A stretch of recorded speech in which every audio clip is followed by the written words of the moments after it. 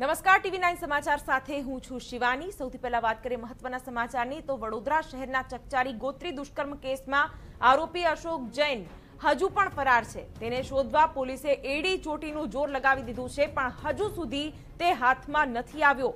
અશોક જૈનને ઝડપી પાડવા પોલીસની બે ટીમોએ રાજસ્થાન અને યુપીમાં ધામા નાખ્યા છે. એક તરફ અશોક જૈનની આગોતરા જામીન અરજીની કાયદાકીય પ્રક્રિયા ચાલી રહી છે, જ્યારે બીજી તરફ પોલીસ અશોક જૈનની શોધખોળ કરી રહી છે. પોલીસે તેના આશ્રય સ્થાનોની માહિતી મેળવતા તે રાજસ્થાન અથવા ઉત્તર પ્રદેશમાં હોવાનું જાણવા મળ્યું હતું, જેને પગલે પોલીસની બે ટીમોએ બંને રાજ્યોમાં ધામા નાખ્યા છે અને વિવિધ જગ્યાએ આરોપીની તપાસ પણ કરી રહી છે. સંવાદદાતા યુનુસ ગાઝી આ વિશે વધુ માહિતી આપી રહ્યા છે. જે યુનુસ.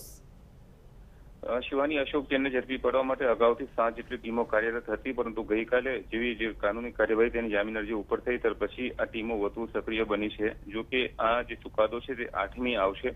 તે પૂર્વે તેને ઝડપી ઝડપી પાડવા માટે વડોદરા ક્રાઇમ બ્રાન્ચની ટીમો વડોદરા શહેરની આસપાસના વિસ્તારોમાં તો સતત તેને શોધખોળ કરી જ રહી હતી, પરંતુ હવે અન્ય રાજ્યોમાં પણ શોધખોળ કરવામાં આવી રહી છે. શક્યતાઓ છે અને જે વિગતો મળી રહી છે તેને આધારે અન્ય જે ત્રણ રાજ્યો છે, રાજસ્થાન, મહારાષ્ટ્ર, મધ્યપ્રદેશમાં આ તપાસ લંબાવવામાં આવી હતી. પરંતુ હવે ઉત્તર પ્રદેશમાં પણ હોઈ શકે છે તેવી શક્યતાઓને આધારે ઉત્તર પ્રદેશમાં તપાસ શરૂ કરવામાં આવેલી છે. અશોક જૈન સંભવતઃ જે સ્થળે આશરો લઈ છે તે તમામ વિસ્તારો પર વોચ ગોઠવવામાં આવેલી છે, પરંતુ હજુ સુધી ચોક્કસ કોઈ પગેરું મળ્યું નથી. હવે આઠમી કોર્ટ દ્વારા શું ચુકાદો આવવામાં આવે છે? તેના આધારે વડોદરા ક્રાઇમબ્રાન્ચ આગળની રણનીતિ કરશે. નક્કી કરશે. બીજી તરફ જે આ કેસના એક આરોપી છે, રાજુ ભટ્ટ તેઓના આજે રિમાન્ડ પૂરા થઈ રહ્યા છે. અને તેઓને પણ પૂછપરછ કરવામાં આવી હતી. અશોક જૈન તેઓના સંપર્કમાં ક્યારે આવ્યો હતો અને તેઓના છુપાવાના સંભવિત સ્થળો છે તે તમામ બાબતો અંગે તેની પણ પૂછપરછ કરવામાં આવી હતી. તો કોઈ ખાસ ફળદાયી હકીકતો નથી મળી રહી. આજે બીજી વખતના તેના ત્રણ દિવસના રિમાન્ડ પૂર્ણ થઈ રહ્યા છે. અને રિમાન્ડ પૂર્ણ થતા આજે તેને કોર્ટમાં રજૂ કરવામાં આવી રહ્યો છે.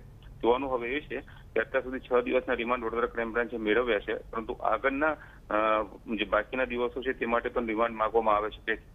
શિવાન. બિલકુલ, યુનુસ. તો હવે પોલીસ એ તપાસ કરી રહી છે કે અશોક જૈન, જે પંદર દિવસથી ભૂગર્ભમાં છે, તે ક્યાં છે? તેનું પગેરું મેળવવા માટે પણ પ્રયાસ.